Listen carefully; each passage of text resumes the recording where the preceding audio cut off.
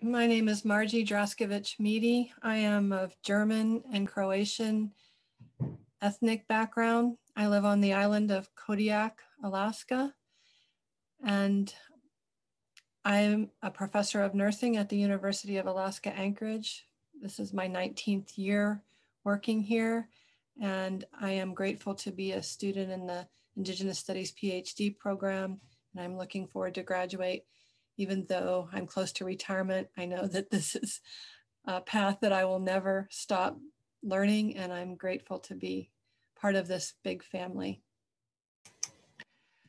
For me, personally, I've always felt like an outcast growing up in the Western worldview, believing in the being taught and forced to practice within the Western worldview the scientific method.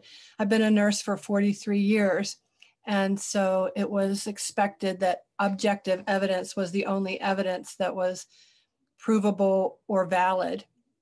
And I always realized that there was another way to treat patients, that people could be cared for with emotional connections as well. And so the idea of holistic health was a big problem because it felt like we were missing a big part of how to take care of somebody completely and totally. And at first, I thought it was just that we weren't looking at people's spiritual needs. And then I realized from taking the classes in this program that that is actually the be all end all is that there's a different way of looking at the world that includes thinking of emotions and feelings and connections to spirit and nature as having valid information and messages that impact either health by relieving illnesses and treating illnesses, but also by preventing them. And so, back to what other people have said about community being so important, Indigenous communities knew this all along.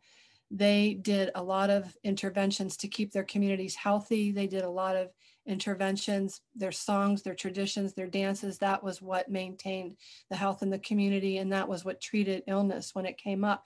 And so it isn't just a matter of adding another piece, adding you know a spiritual intervention or a ceremony it's a matter of having that be accepted and understood as the information coming from those realms, the spirituals and the natural realms, that is what keeps people holistically healthy.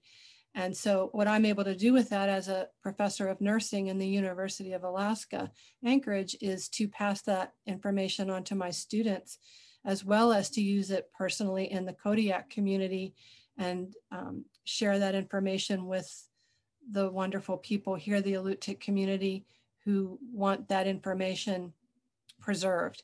And I'm very grateful to be in this program and um, re reaping the rewards of it personally, but being able to share it with the community.